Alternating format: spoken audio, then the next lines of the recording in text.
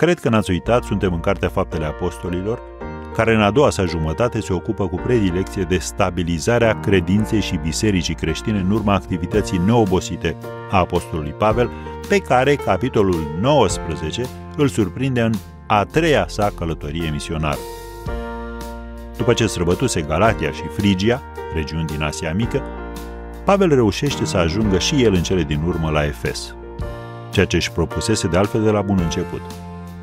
Iată-i practic pe cei doi străluciți oratori creștini ai momentului, făcând schimb de locuri.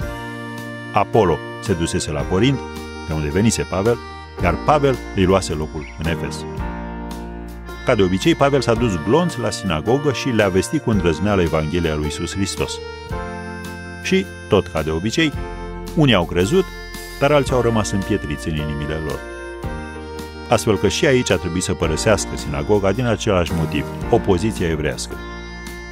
Practic și-a mutat amvonul în școala unuia pe nume Tiranus, unde a predicat vreme de 2 ani.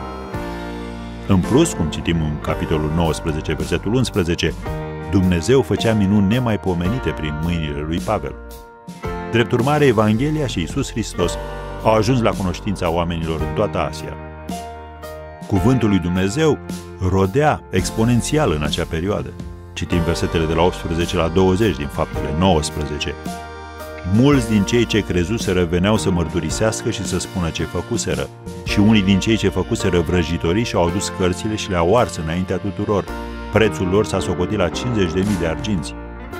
Cu atâta putere se răspândea și se întărea cuvântul Domnului. Am încheiat citatul. Deși încă nu ajunsese până la Colose și în Roma, Pavel a contribuit la formarea unor biserici acolo, de care s-a ocupat de la distanță, trimițându-le scrisori și lucrători.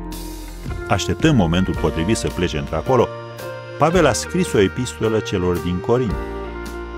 Timotei l-a dus-o, făcând-o însă cunoscută și bisericilor din Filipi, Tesalonic și Atena. Are loc în această perioadă un incident care arată că timpul petrecut de Pavel în Efes se apropia de final. Cultul zeiței Diana era răspândit în toată Asia și avea un templu renumit în Efes, care era un punct de intersecție între Orient și Occident, deci un centru comercial și religios.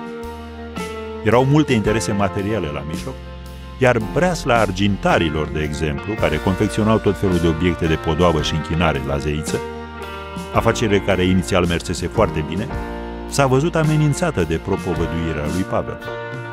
S-a produs o agitație serioasă, o răzmeriță care cu greu a fost potolită de autoritățile locale. Pavel, deși a căutat să le răspundă, n-a fost lăsat de autorități și de colaboratori.